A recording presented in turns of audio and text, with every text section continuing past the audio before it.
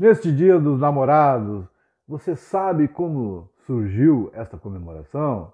Fica comigo que eu vou te contar. E no final, vou recitar uma poesia romântica a todos os casais apaixonados.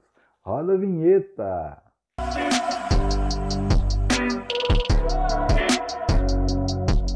Sejam todos muito bem-vindos ao canal Poesias Luz. Eu sou o Fábio Rodrigues e quero homenagear hoje todos os casais apaixonados.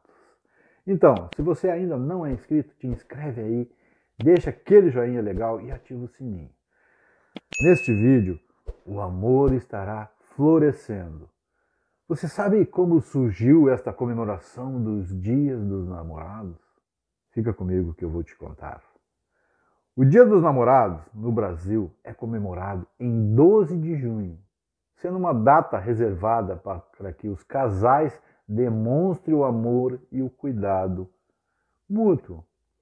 Na maioria dos países, esta data é celebrada em 14 de fevereiro e leva o nome de Valentine's Day, ou Dia de São Valentino, e costuma ser uma ocasião também para homenagear outras pessoas queridas. Já no território brasileiro, o dia carrega uma história relacionada ao comércio e à publicidade.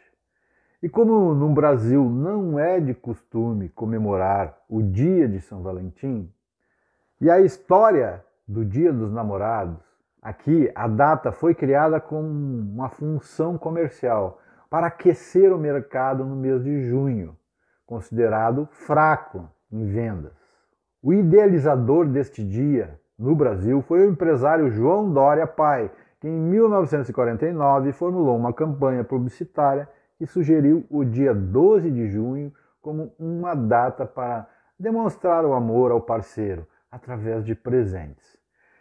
E o slogan da sua campanha era, abre aspas, não é só com beijo que se prova o amor.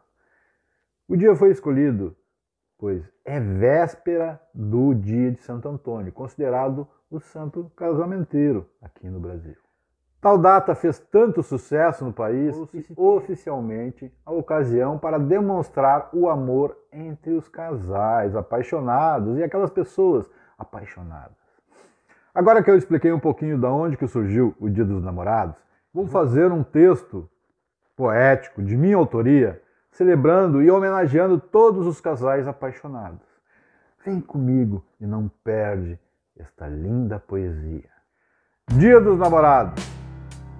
Hoje seria o dia de te presentear, demonstrar o quão grande é este sentimento que atravessa tempos milenares e anda como vento.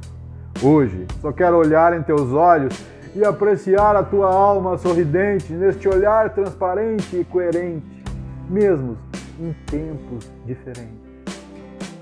Hoje só quero apreciar teus cabelos reluzentes e ver-te com os olhos da alma, sentindo teu perfume ardente para abrir esta porta Mas não será só hoje que irei apreciar este amor encantador que nasce pelos mares, assistindo as estrelas brilharem e como aquela estrela cadente voou e se transformou naquela luz reluzente, transportando nossa alma paciente pela infinita messidão dos tempos e atravessou milhares de terras até encontrar seu. Hoje só quero dizer que amo-te até o fim e no fim ao começo, sem olhar o tempo, apenas a tua luz, com o luar resplandece o tempo, meu grande e eterno amor. Fábio Rodrigues. E se gostou desta homenagem, compartilha com seu grande amor. Não deixe de enviar para o seu amor. Aproveita e te inscreve aqui, deixa aquele joinha legal e ativa o sininho. Não esquece. Assim, você será notificado de todos os nossos vídeos e lives. E falando em live, neste domingo, 20 horas, teremos nossa live sobre cultura musical e seus nuances. Não perca, eu espero vocês para batermos esse papo sobre a arte da música neste Dia dos Namorados. Me despeço de vocês com a seguinte reflexão. Sonhar com aquilo que se deseja alçar é certíssimo. O que não podemos desistir é destes sonhos.